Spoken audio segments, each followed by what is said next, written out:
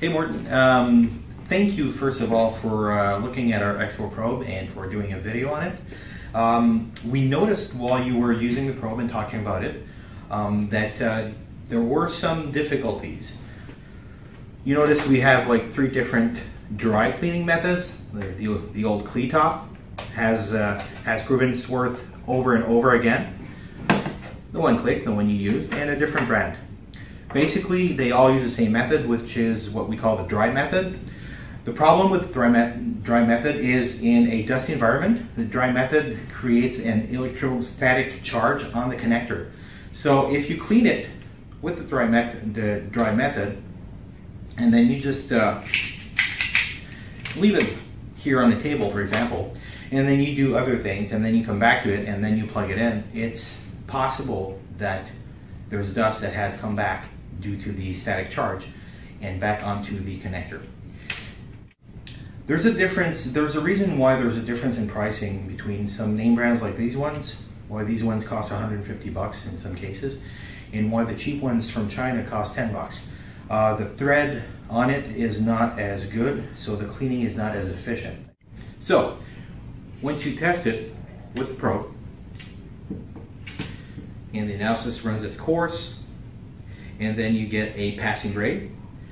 Then, if you're not ready to, to connect it yet, you can simply put the dust cap on it. Don't push it far to the end. Don't push it completely in because there is some dust in the caps, okay? And if you push it to the end, then it's possible that you will put some dust back onto the connector end, and you don't want to do that. So you just put the cap back on, and then when you're ready to plug it in, you just plug it in. I noticed that in the pack that you had, you had some uh, uh, wet wipes. Uh, the wet wipes are really useful, but in a last resort. Normally, for cleaning, for any types of cleaning, uh, the one click should suffice. The wet wipes will be used when you have like really, really tough dirt to get rid of. Uh, you've got embedded uh, crusty dirt on your connector, and even 20 clicks of this will not work you can use the wet wipes.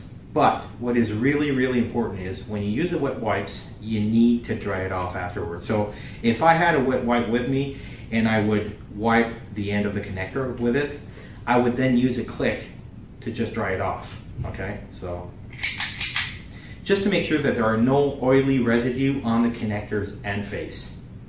Because a wet wipe that isn't dried off basically gives us the same kind of results as you have when you wipe your finger on the connector. You've got a lot of oily residue and it's going to fail. Okay?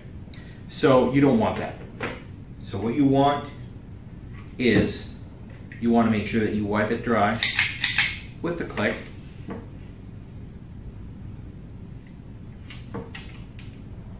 And then you simply run your analysis it's now perfectly clean, okay?